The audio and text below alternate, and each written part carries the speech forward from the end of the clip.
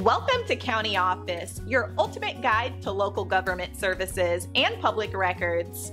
Let's get started. What is a federal income tax? Imagine working hard and earning your paycheck. Now, a slice of that pie goes to something called federal income tax. But what is this financial nibble that Uncle Sam takes? It's not just a random deduction from your earnings, folks. Federal income tax is a pay as you go system. You earn, you pay. It's the government's way of saying, thanks for contributing. This tax helps fund public services and goods. Think roads, schools, and national defense. It's like a communal pot everyone chips into. Every year you file a tax return. It's like checking in with the government. Here's what I made, and here's what I owe. If you've paid too much throughout the year, hello tax refund. If not, you might have to pay a bit more. Not all income is taxed the same. The system is progressive. That means the more you earn, the higher the tax rate.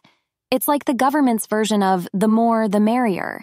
Employers usually withhold federal income tax from your wages. It's a set it and forget it for taxes. If you're self employed, you're the boss of your own tax payments. Quarterly estimated payments keep you in the clear. Remember, tax evasion is a no go. It's illegal to not pay your fair share. So embrace the tax. It's a sign of a functioning society. Now, aren't you curious about the finer details of this fiscal friend? The IRS website is your go to for all things tax related. They've got the scoop on rates, deductions, and credits.